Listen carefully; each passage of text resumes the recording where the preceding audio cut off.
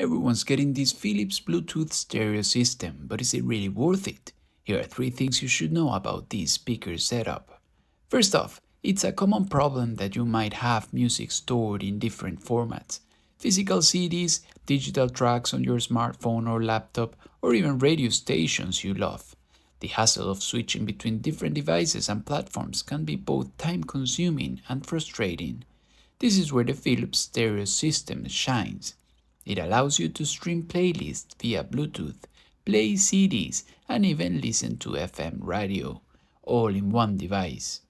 I love how it centralizes all my music needs, making it a breeze to switch between different music sources.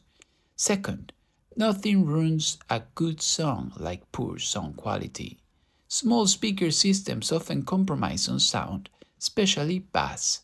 However, the Philips system, with its bookshelf style loudspeakers and a combination of woofer, tweeter, and bass reflex ports, ensures rich and clear sound.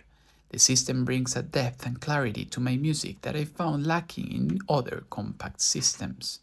The 60 watts maximum output fills any room, making it perfect for my open plan living space. Last, often speaker systems focus solely on sound, neglecting design and aesthetics. The Philips system, however, has a classic two-tone design that pairs well with any decor. It's not just a music device but a piece of decor that enhances the aesthetic appeal of my home. The texture volume control dial adds a satisfying analog feel to operation, and I appreciate the thoughtful design touches.